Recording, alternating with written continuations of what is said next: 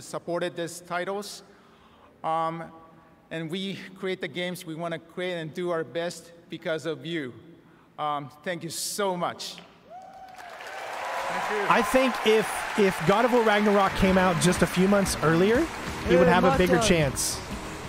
You know, real quick, I want to thank everybody and say that I think I want to nominate this award to uh, my Reformed Orthodox Rabbi Bill Clinton. Thank you, everybody. Uh, who was that guy?